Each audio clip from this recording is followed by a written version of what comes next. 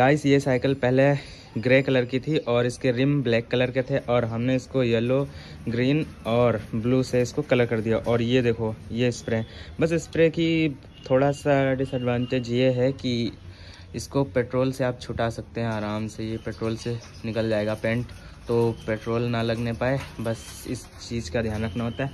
और वैसे ये मॉडिफिकेशन हमने जो करी है, ये आप हमारा वीडियो जाके चैनल पे देख सकते हो। उस पर फुल वीडियो पड़ा हुआ है।